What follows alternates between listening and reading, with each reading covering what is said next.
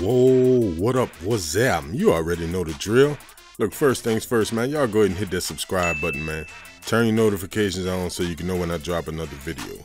Now, what we have today, you see the orange box, white Nike swoosh labels all around. So what we're gonna look at is the women's Air Max 97 in wolf gray, solar red, and vivid purple.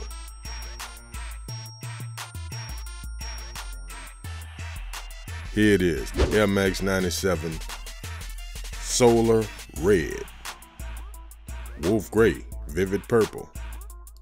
I think it's a clean shoe for women, man. I really do. You know, Nike, to me, Nike putting a little extra towards some of these females' colorways, man. You know, and it's all good.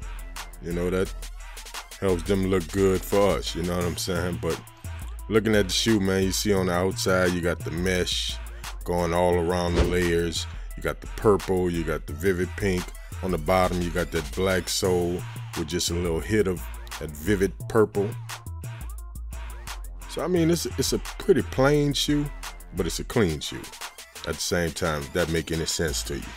You know what I mean? On the medial side, same thing. Pretty plain. There's not much to talk about with these, man. You know, see on the back, you got the black pull tab with your vivid purple Air Max. It's dope, man. Looking at the other shoe, they look pretty much the same to me. Let's see if I see any differences, but just looking at it straight out of the gate, I don't see no differences. So it is what it is, man. Like I say, I think it's a nice shoe. There's that black patch with the Nike check, the swoosh logo insole. You got that vivid purple insole with the solar red writing on the inside. Like I say, man, I think it's a dope shoe for the ladies. You know what I mean? It's real nice. Now, as far as the 3M, that was a picture without it. There's a picture with the light on. So I can't really tell you because I don't really see anything. I see a little bit, but it is what it is. Now, that was my review of the women's Air Max 97 in solar red.